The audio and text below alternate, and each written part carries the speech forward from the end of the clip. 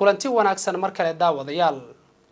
Wasiirka cusub ee wasaaradda gaashaandhigga xukuumadda federaalk ee soomaaliya mudane cabdiqaadir sheekh cali diine ayaa maanta si rasmi a ula wareegay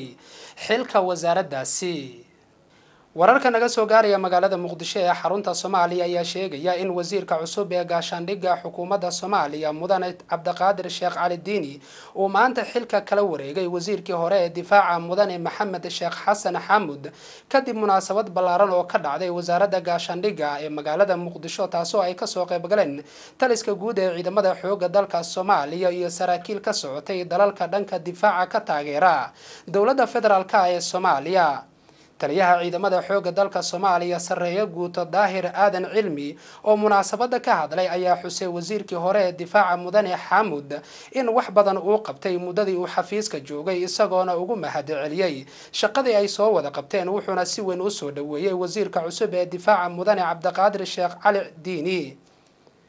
wasiirkii hore ee difaaca mudane maxamed sheekh xasan xamud ayaa sheegay inuu qalbi furan ku soo dhaweynayo. Wasiirka cusub wuxuuna ballanqaaday in uusan waxba ka hagran doonin.